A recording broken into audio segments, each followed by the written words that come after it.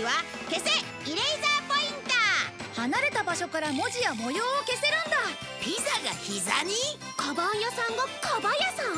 狙った獲物は必ず仕留める。俺の宿題消したやつは誰だあの僕のだけどね。そしてもう一本は僕を止めるのび太。